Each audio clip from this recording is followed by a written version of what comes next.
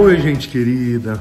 Deus te abençoe, que o Senhor possa estar com você, com a tua família, que a sua graça e o seu poder sempre se multipliquem na sua vida. Hoje, ainda na série sobre batalha espiritual, eu vou falar para vocês sobre Satanás, o imitador de Deus. Porque ele, irmãos, ele simplesmente ele não cria nada. Ele tudo que ele faz, ele é uma imitação de Deus sempre do lado oposto, né? Então, por que falar sobre Satanás? Porque uma das principais armas, estratégias que ele tem é fazer com que as pessoas não acreditem na sua existência. Então, aquela imagem né, do, do demônio com chifrinho, isso tudo é uma coisa uh, mitológica, né, folclórica, mas não é quem realmente ele é. Ele é um grande imitador. E na palavra de Deus a gente vê diversas áreas em que ele imita Deus para se opor a ele. Bom, em primeiro lugar, ele tem a sua falsa trindade, assim como nós temos na Bíblia o Pai, o Filho e o Espírito Santo. Apocalipse 16, versículo 13, também nos mostra que Satanás tem a sua falsa trindade. Então, o texto diz assim: Então vi sair da boca do dragão, aqui é Satanás, da boca da besta, o anticristo, e da boca do falso profeta, três espíritos imundos semelhantes a rãs.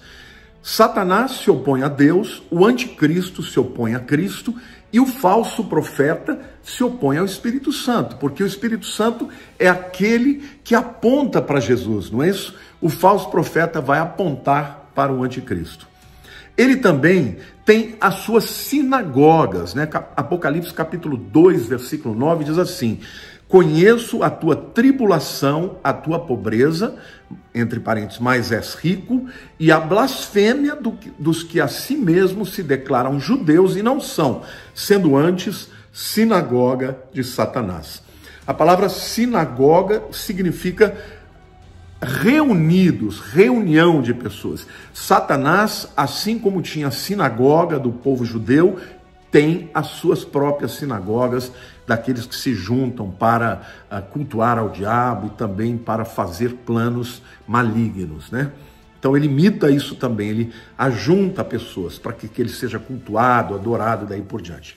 Ele também tem os seus mistérios. Apocalipse 2, 24 diz assim: Digo, todavia, a vós outros, os demais de Tiatira, a tantos quantos não têm esta doutrina e que não conheceram, como eles dizem, as coisas profundas de Satanás. Outra carga não jogarei sobre vós. Então, queridos, Satanás também tem doutrinas, ensinamentos profundos. Eu me lembro que quando eu me converti, eu ouvi muito falar sobre os chamados protocolos dos sábios de Sião, e as pessoas diziam que havia lá ensinamentos muito profundos de Satanás, e quem lesse aquilo acabaria, né, desviando da fé.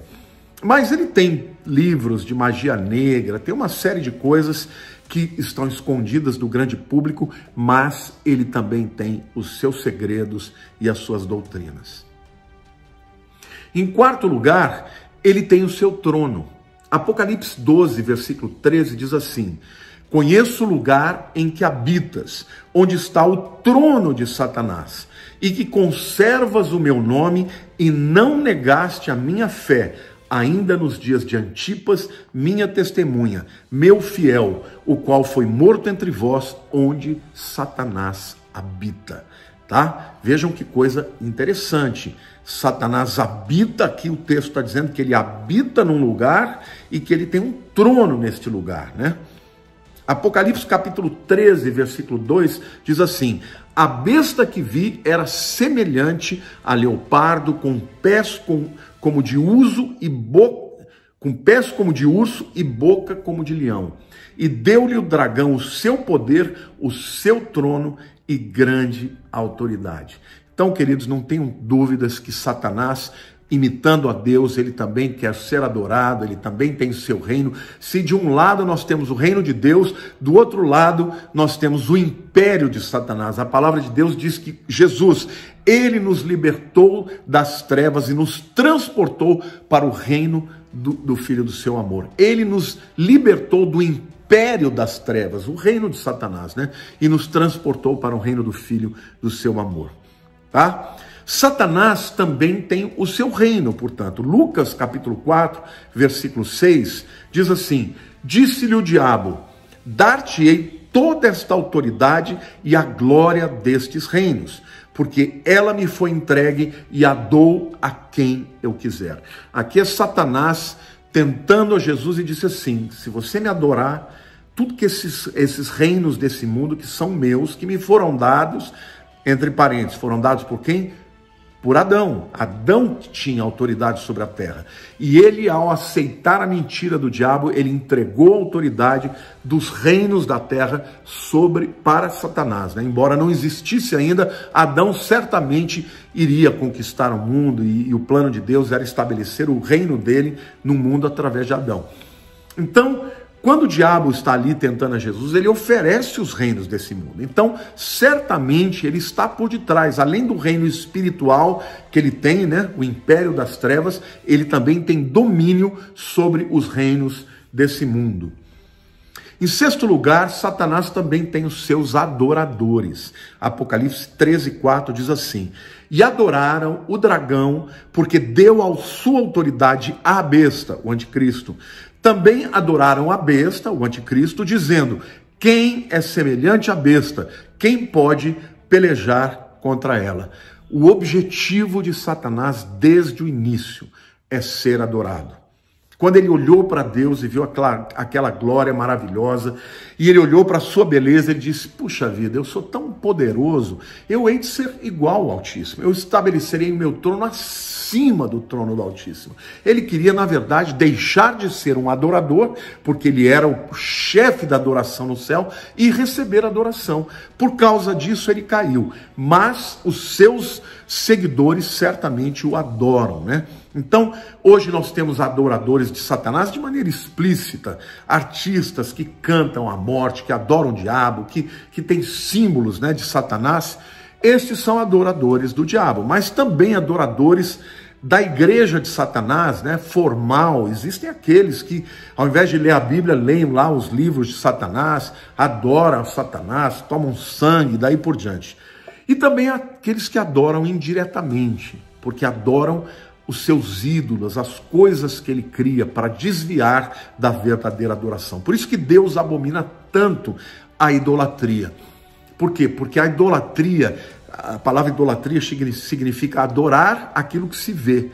Na verdade, os ídolos, Satanás criou um monte de ídolos, tem para todo tipo, por quê? Porque ele quer tirar o foco da adoração de Deus. E toda pessoa que adora os ídolos está adorando por detrás a Satanás. Eu não estou dizendo aqui que eh, uma pessoa que efetivamente tem ali uma, uma estátua, pode ser que ela nem tenha consciência disso, tá? Mas não pode adorar a ídolos, não pode mesmo. A Bíblia é muito clara sobre isso. Uh, em sétimo lugar, Satanás também tem os seus anjos, a semelhança de Deus, né? Apocalipse capítulo 12, versículo 7 diz assim: Houve peleja no céu. Miguel e os seus anjos pelejaram contra o dragão. Também pelejaram o dragão e os seus anjos. Aqui está falando em Apocalipse 12, quando a guerra vai acontecer nos céus, em que Miguel vai expulsar Satanás dos céus. Hoje ele ainda tem acesso, ele ainda está nas regiões celestiais, às vezes ele até chega na presença de Deus, como ele fez lá em Jó, tá? Mas haverá um momento que ele perderá totalmente o acesso, que ele vai perder essa batalha. Mas a verdade é que esse capítulo 12 de Apocalipse diz que quando ele cai, ele arrasta consigo um terço das estrelas. Estas estrelas são os anjos. Então, em função disso, os teólogos fazem a inferência de que na rebelião de Lúcifer, lá muitos anos atrás, muito antes até da própria terra ser criada, uh, na rebelião de Lúcifer, um terço dos anjos ficaram do lado dele. Então, para cada um terço de anjos que foram para o lado dele, dois terços ficaram com Deus. Então, o nosso exército é mais poderoso, sem contar que o nosso Deus é o Todo-Poderoso.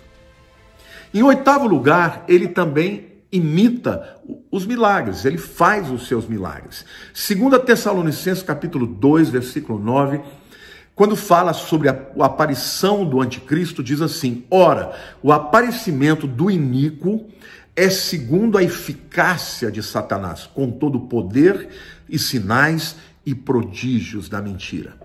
Queridos, não se esqueçam, quando Moisés estava no Egito e quando ele enfrentou né, uh, os magos de, de Faraó, eles imitaram alguns dos sinais que Moisés fez.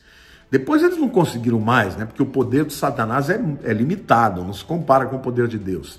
Mas ele tem os seus prodígios e os seus sinais. Então é por isso que você vê aí na internet pessoas fazendo operações espirituais e coisa e tal. Não é da parte de Deus, tá? Ah, em nono lugar, Satanás também tem as suas sementes, tá? Mateus capítulo 13, versículos 24 a 30 falam sobre a parábola do joio e do trigo, tá? É, o texto diz assim, eu vou ler os versículos 24 e 25. Outra parábola lhes propôs, dizendo: O reino dos céus é semelhante a um homem que semeou boa semente no seu campo. Mas enquanto os homens dormiam, veio o inimigo dele e semeou o, jogo, o joio no meio do trigo e retirou-se. O que, que a Bíblia está dizendo, gente? Que quando Deus manda os seus enviados, os seus apóstolos, os seus pastores, os seus discípulos pregarem a boa palavra no campo que é o mundo, Satanás, paralelamente, também está enviando os seus discípulos com a sua semente com a sua pregação, ou seja, com as suas mentiras. Qual é a diferença do joio e do trigo? Eles são muito parecidos. Quando você olha para eles, eles são praticamente idênticos. Só que quando chega o tempo da colheita, o trigo tem a colheita, tem a semente que se desenvolve né, para poder fazer o pão e a farinha daí por diante. O joio é vazio. Quando você aperta assim, não tem absolutamente nada dentro. Então, qual é o papel do joio ao ser lançado no meio do trigo? Primeiro, tomar o lugar. Onde poderia haver mais trigo, tem o joio. Segundo lugar, uh, imitar. As pessoas, quando vão colhendo, se elas não tiverem o cuidado de separar uma coisa da outra, elas acabam perdendo parte da colheita porque estão colhendo algo que não tem, que não tem semente de fato. E é exatamente isso que Satanás faz. Ele planta a sua semente para quê? Para atrapalhar o avanço do evangelho. Porque quando alguém está pregando a verdade, sempre vai ter alguém pregando a mentira. Para que algumas pessoas, ao invés de se converterem para Deus, se convertam para as mentiras de Satanás. A Bíblia diz que também ele tem a sua doutrina, tá? 1 Timóteo capítulo 4, versículo 1 diz assim: Ora, o Espírito afirma expressamente que nos últimos tempos alguns apostatarão da fé por obedecerem a espíritos enganadores e a ensinos de demônios. A doutrina de Satanás é sempre em oposição à verdade de Deus. Enquanto Deus é verdade e nele não há nenhuma mentira, Satanás é o pai da mentira e nele não há nenhuma verdade. Então, ainda que o seu discurso seja né, algo encantador, aparentemente verdadeiro, lá dentro tem a semente da mentira, que vai levar as pessoas para longe de Deus. Então, tomem cuidado. Como nós podemos ficar livres da doutrina de Satanás? Conferindo com a palavra. Assim como a Bíblia diz que os bereanos, quando ouviram a Paulo, tudo que eles ouviam, eles conferiam com as Escrituras. Esta é a única maneira de você evitar que Satanás te leve para o engano. Por quê? Porque muitas heresias nascem, gente, de experiências. Pessoas que têm experiências e que, em função das suas experiências, criam doutrinas. Aqui vai um ensino, um princípio teológico fundamental. Experiências nunca podem ser base para a doutrina. Por quê? Porque as suas experiências podem vir de Satanás. Ele pode mandar experiências que parecem verdadeiras, mas são enganosas. Se vem de Deus, a Bíblia tem que concordar. Se não concordar com a Bíblia, então saiba que é de Satanás. Então é o joio e não o trigo. Amém? Então, Satanás tem como objetivo trazer a mentira, porque ele quer levar as pessoas para longe de Deus e finalmente levá-las ao processo de apostasia, que é a morte espiritual. Então, nós lutamos contra Satanás. Eu quero dizer aqui para vocês que não existe hábito mais saudável para um cristão do que ler a Bíblia todos os dias. Porque quando você lê a Bíblia, a Bíblia vai cada vez mais emergindo no seu coração, no seu cérebro, no seu entendimento. Quando você ouve uma mentira, pum, a luz acende, né? A luz acende por quê? Porque dentro de você você tem um paradigma, a palavra de Deus que vai filtrar aquilo que você está ouvindo. Amém? Eu quero concluir esta palavra sobre Satanás. Nós vamos ter a continu continuação, tá, gente? Mas eu quero dizer que Satanás ele promete a, a felicidade, mas a felicidade ele não pode entregar. A vida com ele é sempre vazia. Ele promete prosperidade, mas tudo que ele pode te dar é dinheiro, mas ele rouba todo o resto. Eu, eu costumo dizer que Satanás dá com uma mão e toma com as duas. Às vezes ele dá o dinheiro, mas rouba a família, rouba a saúde, rouba a alegria e, sobretudo, rouba a vida eterna, porque ele é como ladrão que vem para roubar, matar e destruir. Ele promete prazer através das muitas coisas que ele que ele instiga, que ele tenta, né, que ele apresenta como drogas, como sexo fora do casamento e daí por diante.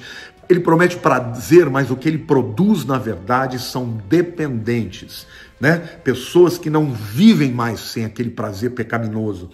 Ele promete liberdade, mas tudo que ele entrega são algemas. Satanás não quer ninguém livre. Quando ele te promete liberdade, na verdade, ele está te oferecendo um caminho de prazer que vai te conduzir à morte, mas antes da morte, ele te prende efetivamente. Você vê pessoas que começam a usar drogas, por exemplo. No início parece uma delícia, parece gostoso.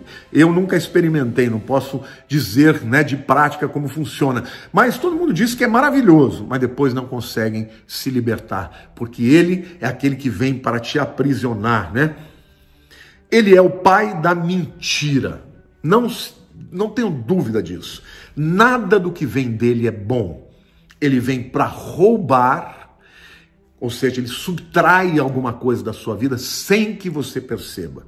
Ele vem para matar, ou seja, a Bíblia diz: há caminhos que para o homem parecem direito, mas que no final são caminhos de morte. A Bíblia diz que largo é o caminho que conduz à perdição, estreito é o caminho que conduz à salvação. Queridos, Satanás, ele quer te tirar do verdadeiro caminho que é Jesus, o único caminho de vida, o único caminho que te leva à salvação.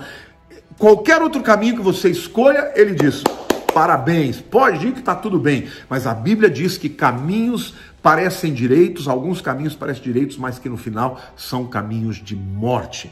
Não há outro caminho para a salvação a não ser através de Jesus. Então, ele é o pai da mentira, nada do que vem dele é bom. Ele vem para roubar, para matar e para destruir, porque não basta extinguir a vida, lançar no inferno, ele quer destruir quem está em volta. E normalmente, como a gente, quando a gente percebe que Satanás entrou na vida de uma pessoa, não é somente ela que vai ser prejudicada, é a família, as pessoas que estão em, em redor. Quando ele tenta alguém, ele quer acabar com aquela reputação, ele quer levar juntamente com ela outras pessoas que, ao caírem, vão levar cada vez mais outras pessoas a se afastarem de Deus. Ou seja, o seu projeto é sempre de destruir, não é só matar o indivíduo, é roubar e o roubo faz a pessoa se sentir com perdas, as perdas podem levar essa pessoa a níveis mais profundos de afastamento de Deus e vem a morte e a destruição.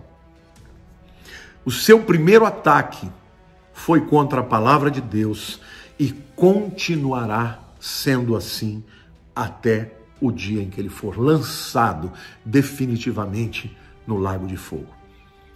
Queridos, Estamos vivendo em tempos em que a Bíblia está sendo constantemente questionada. Cuidado. Duvidar da palavra de Deus é abrir mão do poder que criou os céus e a terra.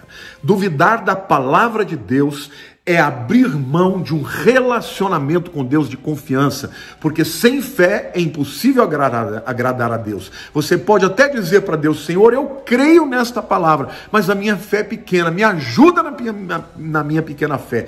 Esta atitude Deus se alegra e vai te ajudar, né? Agora, quando alguém age com incredulidade, quando alguém ousa questionar a Deus, a verdade de Deus, interrompe, impede que as bênçãos de Deus fluam na sua vida.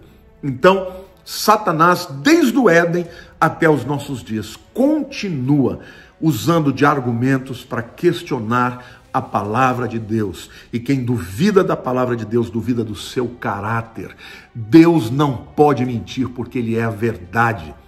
Então, queridos, saibam, Satanás existe, ele é um ser poderoso que age, que age por detrás do pano para que ninguém saiba da sua existência. Mas a Bíblia diz que ele já está derrotado e que o seu destino já está definido e estabelecido pelo Rei dos Reis, em nome de Jesus. Amém?